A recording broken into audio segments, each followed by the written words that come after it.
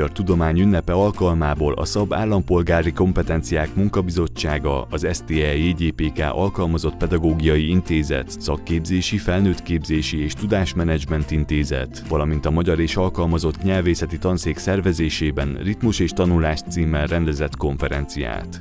Az eseményt dr. Döbör András, a Juhász Gyula pedagógus képző kardékánya nyitotta meg.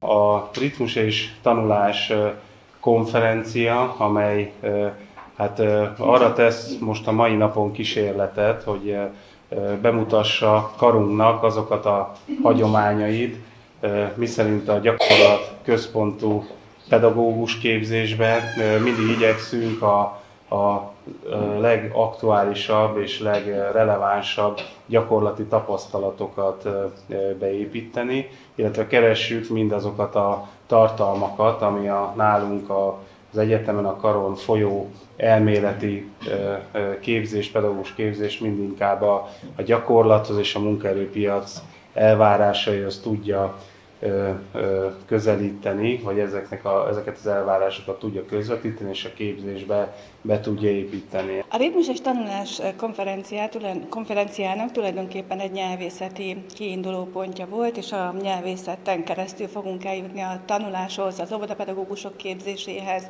illetve a tanítók képzéséhez. Ugyanis a ritmus a legjobban ebben a, a kicsi életkorban fejleszthető, ez a legszenzitívebb időszak arra, hogy fejleszünk.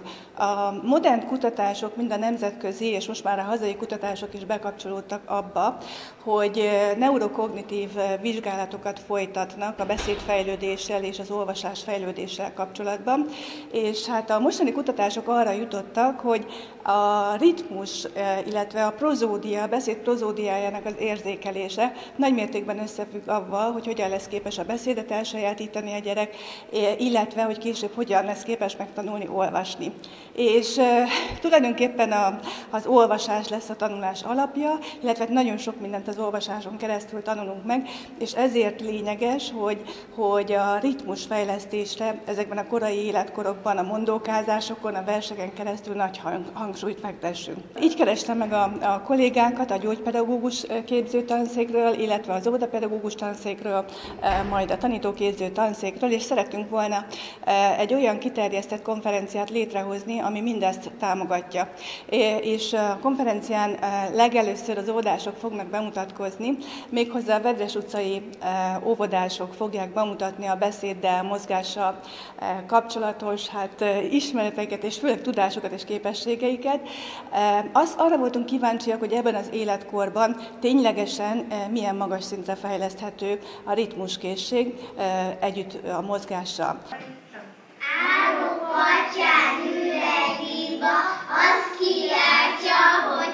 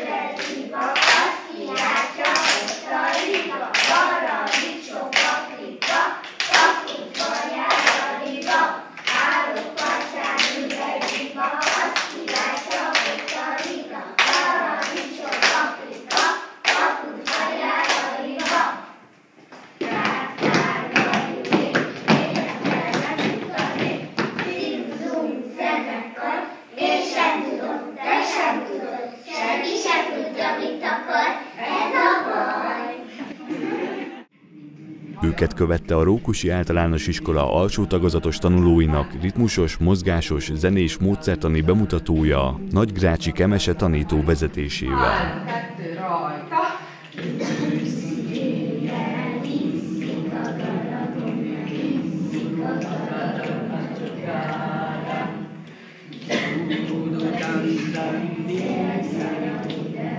Segítsük a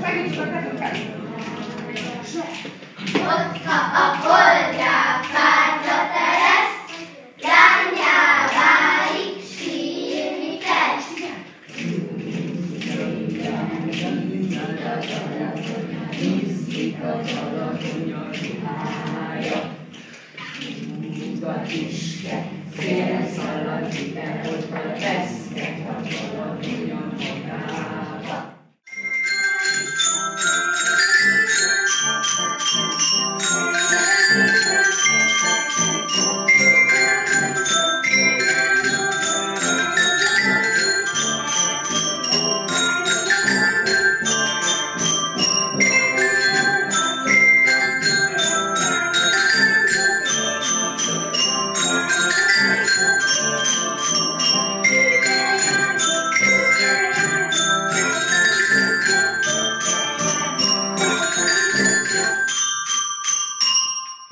Szintén arra voltunk kíváncsiak, hogy az óvodáskortól kezdve a, a harmadik osztályig ezek a képességek már mennyire összetetté tudnak válni megfelelő fejlesztés hatására.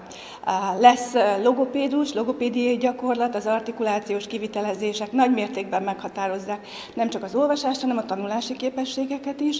Megnézzük, hogy milyen tesztekkel vizsgálják meg ezeket, illetve arra is kíváncsiak voltunk, hogy az idegen nyelv tanulásban hogy jelenik meg a prozódia szerepe. Tehát tulajdonképpen az egész konferencia egy nagyon interaktív konferenciának készül, úgy tudjuk, hogy sokan érdeklődnek és sokan lesznek jelen. Szeretnénk ezt a pedagógus továbbképzésekbe is később beépíteni.